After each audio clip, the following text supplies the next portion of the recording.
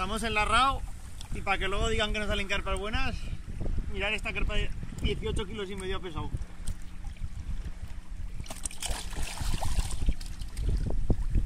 Vamos a devolverla al agua.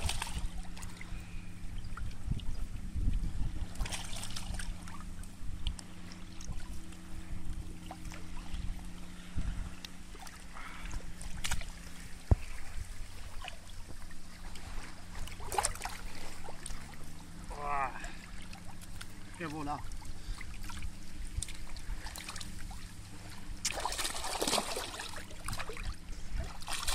Adiós.